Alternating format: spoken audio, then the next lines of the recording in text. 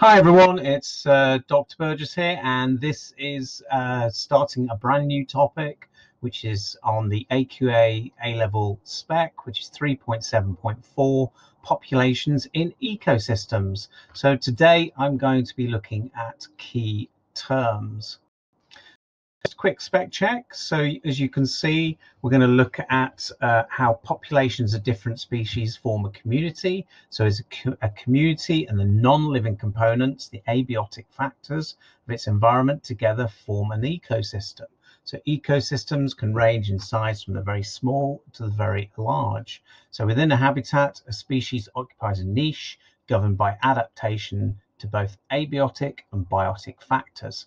So what I intend to do with this um, video is just to quickly go through all the key definitions you're going to need for this section of work. Okay, so first of all, you need to know uh, that ecology is the study of the interrelationships between organisms and their environment. So the environment includes both non-living, so the abiotic factors, such as temperature and rainfall, and living the biotic factors such as competition and predation. So what I'm going to use is this example of a woodland, of a very diverse woodland, uh, but we're going to talk about uh, all the individual interrelationships that are going on. So firstly, uh, first keyword, population. So population is a group of individuals of one species that occupy the same habitat at the same time. So for example, the example here, roe deer. So they're a group of individuals of one species and they therefore occupy the same habitat in the glade of this woodland.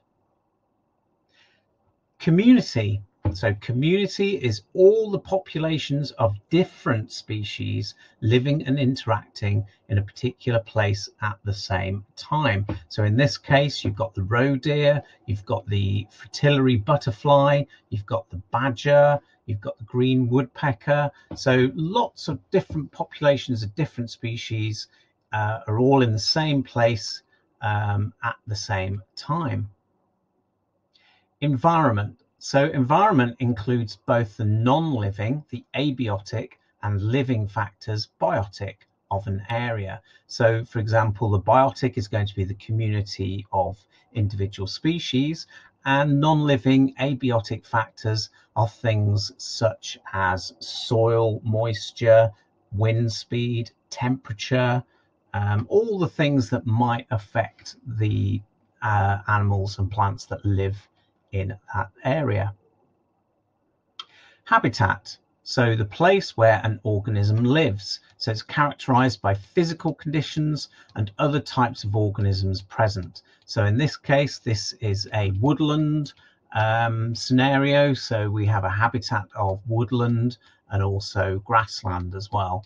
Uh, so it'll be characterized by certain physical abiotic conditions and there and all the the types of organisms that live in that area.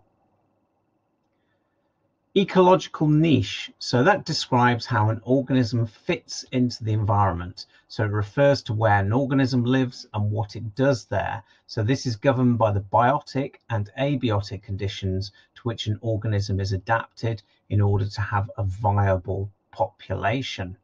So, uh, for example, green woodpecker over here. Okay, so um, it lives uh, in a tree. So this is an oak tree, okay? And it's governed by biotic factors. So it's governed by competition for um, by other woodpeckers or different species of woodpecker for certain types of insects that they might might eat and abiotic conditions so therefore it's going to prefer probably shaded areas um, and also food is going to be really important for the woodpecker because it's quite a large species. Ecosystem, made up of a community and all the non-living factors of an environment. So it can range from really very small areas to extremely large areas. Okay, so this next one is for my year 12 group. So I'd like you to download the keyword file, uh, complete it and hand in via Google Classroom. Okay, here's some extension work. What I'd like you to do is to write down these sentences and try and decide on the correct keyword that replaces the number. So if you're doing this through YouTube, then you can pause the video fantastic place or resource is BBC iPlayer at the moment. So on BBC, they like to play a lot of natural hist history documentaries. So particularly the series by David Attenborough related to planet Earth. Um, and there's those are really fantastic for for looking at all the kind of keywords related to populations and ecosystems. So it gives you some really good examples. And I would really um, say that as part of your studies, you should be watching uh, some of these natural history documentaries uh, for your course, but also because they're so amazing. Okay, thanks for listening, and I'll be back soon.